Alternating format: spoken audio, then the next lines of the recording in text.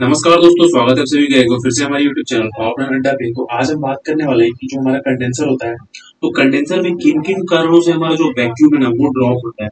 Okay तो समझेंगे इनके बारे में।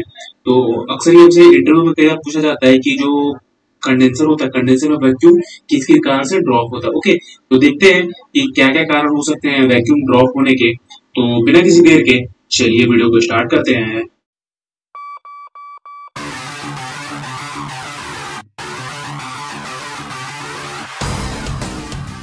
तो बात करते हैं कि जो कंडेंसर होता है ओके तो कंडेंसर में जो हमारा वैक्यूम है वो क्यों रिड्यूस होता है? क्यों कम होता है? ओके देखिए उसके रीजन के बारे में देखते हैं।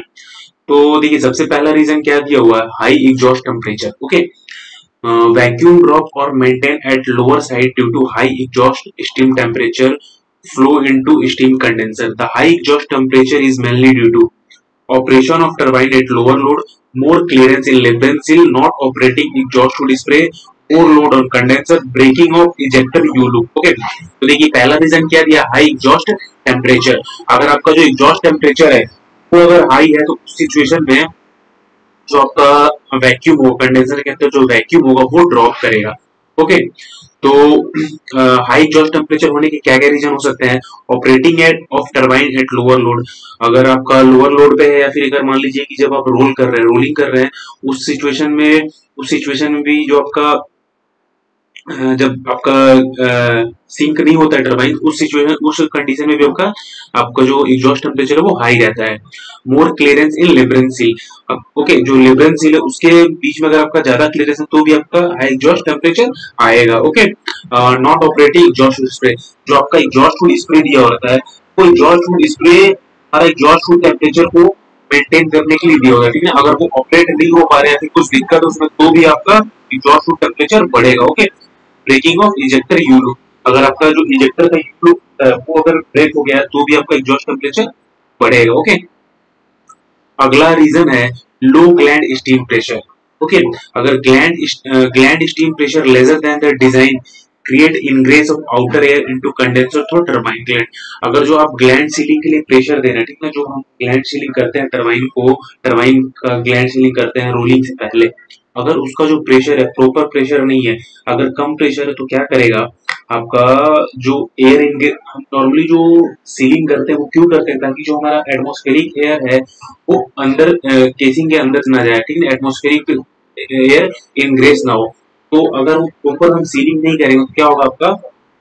एटमोस्फेरिक प्रेशर इनग्रेस होगा अंदर, और वो क्या होगा? वैक्यूम ब्रेक करेगा ओके तो इसलिए हमें ये भी चेक कर लेना है कि जो हम सीलिंग कर रहे हैं उसमें प्रॉपर प्रेशर है कि नहीं? ठीक है, जो स्टैंडर्ड प्रेशर हमें रखना है, वो है कि नहीं ओके अगला देखते हैं क्या है reason loading the condenser more than design अगर जो आपका कंडेंसर है, वो अंडर डिज़ाइन है, ठीक है अगर मान लीजिए जितने भी टन का आपका फ्लो है कंडेंसर का, अगर उतने टन का नहीं लगवा के आपने कम अंडर डिज़ाइन ले लिया, ठीक ना? दैट मीन्स आपका जो कंडेंसर है, वो ओवरलोड चल रहा है ओके उस पर ज़्यादा लोड पड़ रहा है तो भी आपका वैक्यूम ड्रॉप करेगा ओके नेक्स्ट देखते हैं। नेक्स्ट देखिए क्या है? High temperature and low pressure in the atmosphere reduce vacuum vacuum pulling efficiency क्या बोल रहे देखिए जैसे नॉर्मली आपने देखा होगा, जो गर्मी के टाइम में क्या होता है, गर्मी के टाइम में आपका अक्सर वैक्यूम में दिक्कत होता है। नॉर्मली अगर वाटर कूल कंडेंसर में तो नहीं आता बट अगर आपके यहाँ एयर कूल कंडेंसर है तो उस सिचुएशन में जब समर सीज़न होगा तो समर सीज़न में ज़्यादा दिक्कत आती है ओके आपका एटमोस्फेरिक टेम्परेचर अगर बढ़ रहा है, अगर ज़्यादा है तो उस सिचुएशन में आपका एयर कूल कंडेंसर में ज़्यादा दिक्कत आएगा ओके नेक्स्ट रीजन है low circulating cooling water flow अगर जो हम वाटर कूल कंडेंसर है उसमें हम सर्कुलेटिंग वाटर दे रहे हैं ठीक ना? uh, आपका एसीडब्ल्यू जो जाता है आ, अगर उसका फ्लो जो है कम हो गया ओके okay, तो उस सिचुएशन में भी आपका आ, जो वैक्यूम है वो ड्रॉप होगा।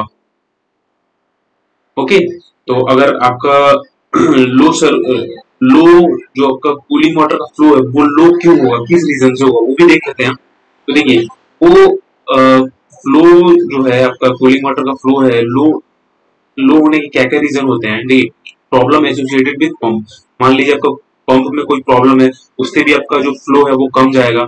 एयर पॉकेट इन पाइपलाइन अगर एयर ट्रैप हो गया आपके पाइपलाइन में तो भी आपका एयर का जो वाटर का फ्लो है वो कम हो जाएगा। Leakage in cooling water line मान लीजिए सपोज़ दैट कहीं लाइन में लीकेज हो गया तो भी आपका पानी आधा उधर गिर जाएगा, पूरा कंडेंसर में नहीं जाएगा। Stuck of discharge valve operation of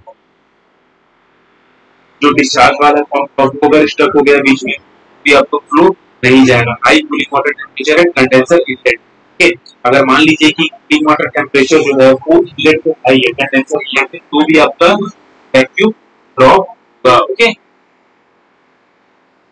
अगर मान लीजिए आपका जो हाई वाटर टेम्परेचर है कंडेंसर में तो क्या करेगा वो? ज, मतलब जो हमारी स्टीम आ रही है उसको कंडेंस नहीं कर पाएगा ओके तो यहाँ भी आपका वैक्यूम ड्रॉप होने के चांसेस बनते हैं ओके और अगला क्या बोल रहा है? High cooling water temperature at condenser inlet result into reduction of vacuum due to poor heat transfer of steam to water जैसे कि अपने अभी अपने पहले बात किया कि अगर आपका हाई कूलिंग वाटर टेम्परेचर है कंडेंसर इनलेट पे तो क्या करेगा? कि जो आपका कंडेंसर में एग्जॉस्ट स्टीम आ रही है, उसको कंडेंस नहीं कर पाएगा। ठीक ना?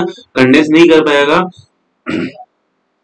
तो जिसके कारण क्या होगा? आपका वैक्यूम ड्रॉप होगा ओके नेक्स्ट रीजन है poor heat transfer in condenser very less और poor heat transfer in steam condenser reduce vacuum to very low level resulting into high exhaust temperature and disturbance in hot level okay क्या बोल रहा है? अगर मान लीजिए कि आपका प्रॉपर हीट ट्रांसफ़र नहीं हुआ तो क्या होगा, अगर steam condenser proper heat transfer नहीं हुआ, क्या होगा आपका वेरी लो लेवल जो वैक्यूम है वो बहुत लो लेवल तक जाएगा और उसका जो रिज़ल्ट आएगा वो एग्जॉस्ट टेम्परेचर हाई होगा और जो आपका हॉटवेल लेवल है वो डिस्टर्ब हो जाएगा okay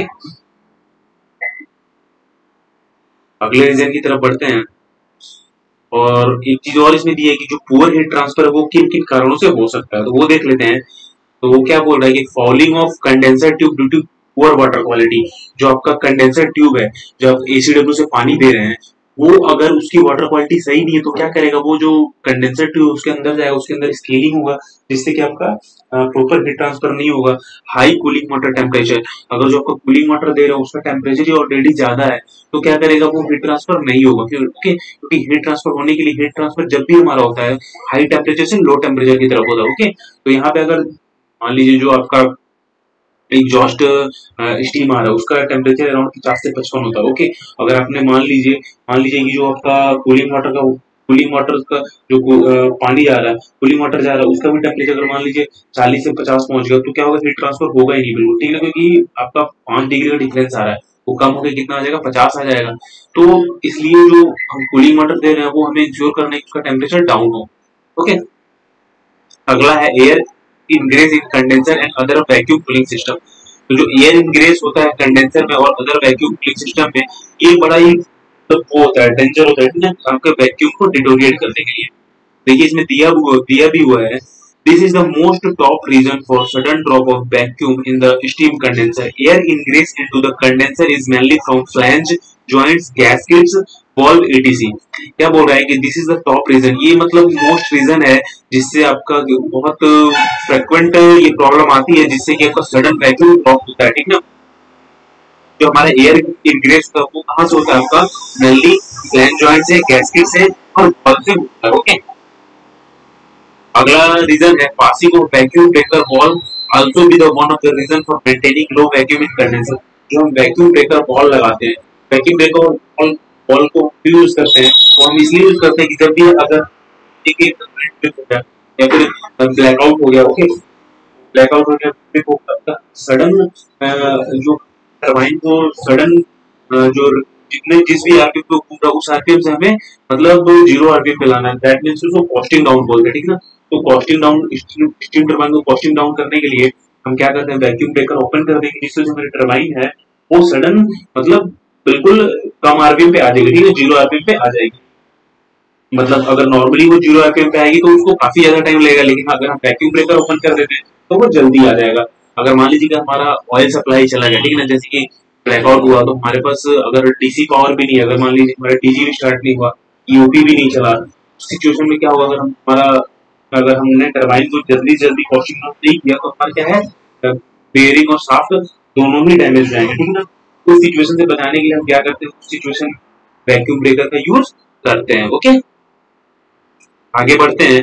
Low steam temperature and pressure at ejector line ये भी एक रीजन होता है हमारा लो वैक्यूम के लिए parameter lesser then the recommended leads to reduction of vacuum cooling जो पैरामीटर हमें ओईएम ने रिकमेंड किया है भाई कि इतने पे ही हमें इजेक्टर इनलेट में हमें इतने प्रेशर और इतने टेम्परेचर का स्टीम देना है। अगर वो भी हम मेंटेन नहीं करेंगे तो वो भी एक रीजन हो सकता है हमारे कंडेंसर में लो वैक्यूम का। ओके आगे बढ़ते हैं।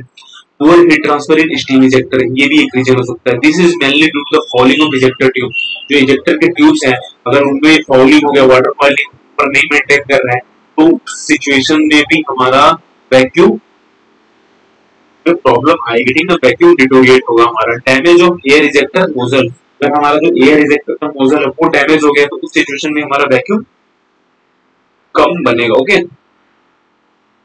इसके अगला क्या दिया increase in nozzle clearance lead to reduction of vacuum creating efficiency of ejector जो हमारा नोजल क्लियरेंस इजेक्टर का, अगर, वो बढ़ गया तो उस सिचुएशन में हम वैक्यूम क्रिएट करने में दिक्कत आएगी okay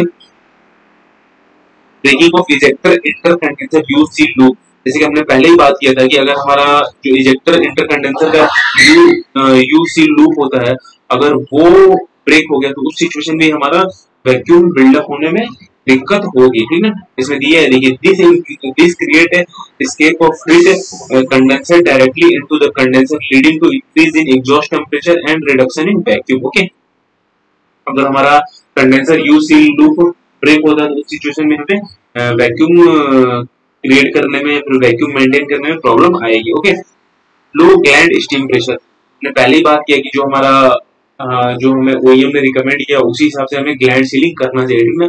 अगर हम कम प्रेशर देंगे तो क्या होगा? एयर इंक्रीज होगा। एयर इंक्रीज होगा तो क्या होगा हमारा? वैक्यूम क्रिएट करने में, फिर वैक्यूम मेंटेन करने में दिक्कत आएगी ओके तो ये था आज का वीडियो जिसमें हमने बात किया कि वैक्यूम किन किन कारणों से हमें मतलब कॉन्स्टेंटली वैक्यूम बिल्डअप या फिर मेंटेन नहीं कर पाते हम कंडेंसर में ओके तो आई होप ये सारे आपको समझ में आ गए होंगे, जो जो हमने रीजन देखा। अगर इसमें आपको समझ में नहीं हो तो कमेंट करके ज़रूर पूछिए। वीडियो को लाइक करिए चैनल को सब्सक्राइब करिए और अपने दोस्तों के साथ ज़रूर शेयर करिए।